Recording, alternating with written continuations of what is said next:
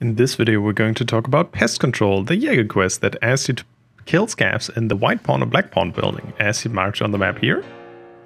And uh, either of the spawns on that side of the map are really, really great, because what you want to do is to run into Black Pawn, uh, not to the basement, to the marked room, but we want to go straight to the roof. So the audio is a little bit bugged, and you get the outside audio as if you were standing right next to it from the ground floor when you're on this roof.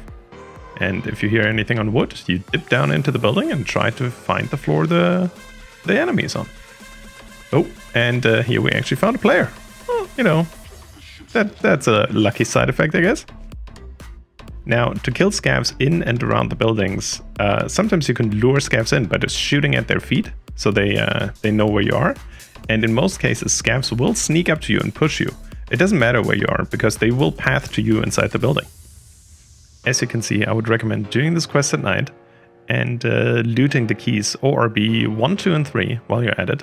Spend about 10 to 15 minutes in the raid and get out with the loot. Uh, you'll, you'll rack up the scav kills in no time. If this video gave you a slightly better clue on how to do this quest effectively, uh, leave, leave it a like and uh, I'll see you next time.